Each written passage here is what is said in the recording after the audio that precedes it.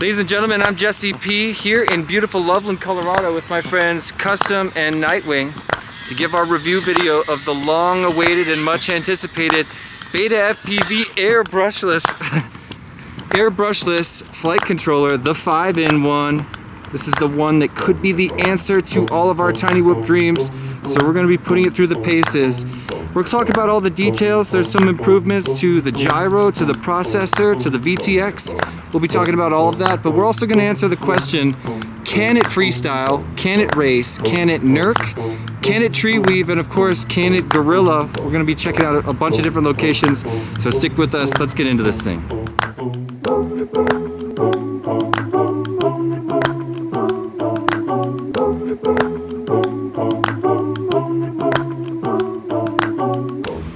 There it is up close, ladies and gentlemen. Notice there's no heavy USB-C connector. We use an adapter, which I think is awesome. We got the Tiny Whoop milligram scale zeroed out down to the one-tenth of a milligram, because milligrams do matter, ladies and gentlemen.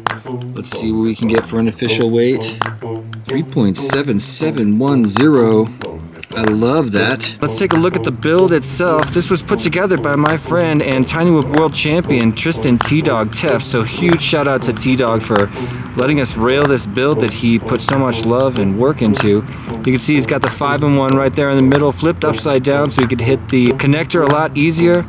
He's also got the custom FPV mount on the front, 28,000 kV motors, HQ ultralight props, and of course a heavily modified Meteor 65 airframe. He's cut a lot of plastic off of this thing, and what a work of art it is, so thank you so much T-Dog.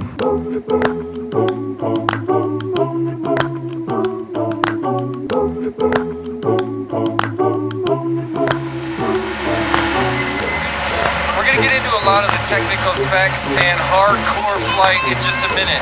First, we're going to answer the question, can it nurk?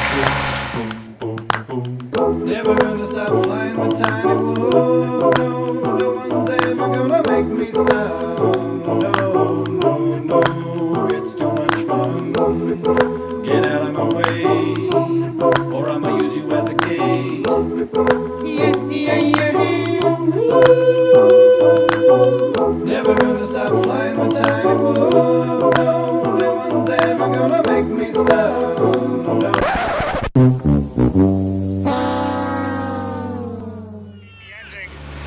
Then I hit there and I tried to save it, but I think I went into the train a little bit and it snapped the shaft off. it. Okay, alright, that's a quick fix. But yeah, everything else is fine on it. Wait, does that mean it can't nurk? No, it definitely can. That's just I can't nurk as well as Nurk can nurk. what is nurk? Dude, really tight. Dude, this place is epic. When it comes to freestyling or racing, this baby's got a faster processor. According to Beta FPV, the G473 processor can compute 20, no, 55% faster than the current standard, which is one of the F4 processors that are on most boards nowadays. That means faster response times and more precise maneuvers.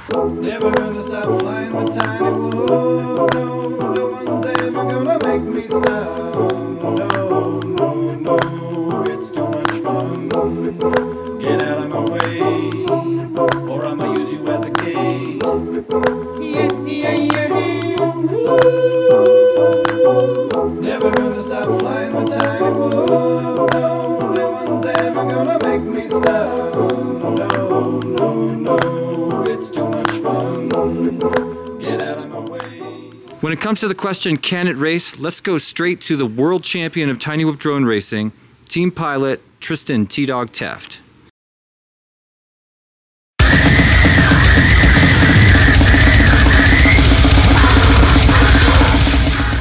What's up, Tiny Whoop community? This is T Dog. I got the opportunity to fly the new FC, both practicing at my home and at a race. I love the weight, I like four points of contact, I like that I don't have to mod the USB connector, but my board had a lower power output from the VTX, so I didn't use it in finals at the local race the other night. We don't know yet if it's a problem with the board or if it was just my particular board.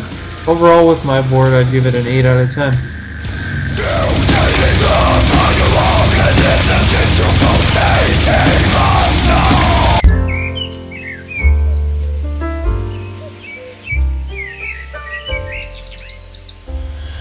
Can the air brushless 5-in-1 tree weave? Pretty much obviously yes. The only reason it would be a little more difficult is because you've got such a light build. I find that when I'm tree weaving, I like to have a little more weight for even more throttle resolution, increase my altitude control. But you can always add more weight.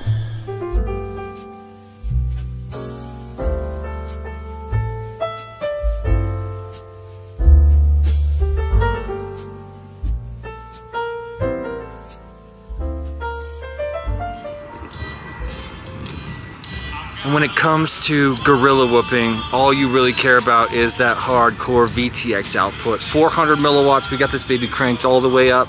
And we're gonna try to hit into that bar. And I think that ice cream parlor and maybe that bar. Here we go. Boom, boom, boom, boom, boom. Boom, boom, boom, boom, boom. Boom, boom, boom, boom, boom. Boom, tick, boom, boom, boom, boom.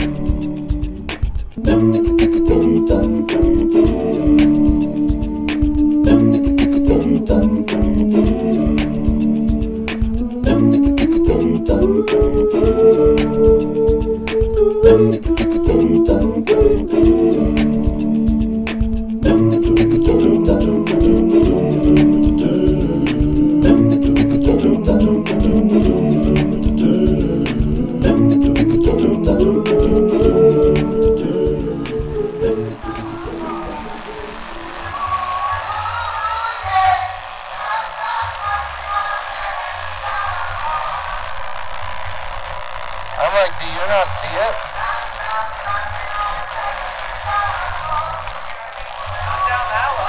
Dude, they're so in the song, they have no idea what's happening. Completely oblivious.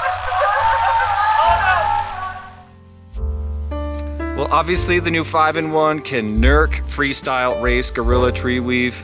We kind of already knew it could do that. Is it the flight controller of our dreams? I'm honestly really hopeful right now. If all of them are like the ones I tested, then I am super excited about this addition to the Tiny Whoop world. It really does seem like the spirit of this project is to take Tiny Whoop technology to the new level.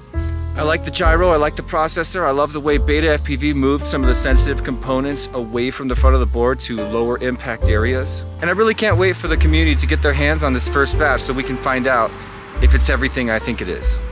Thank you so much to Custom and Nightwing for helping me with this project. Thank you to Beta FPV for pushing Tiny Whoop technology forward and for listening and responding to the community.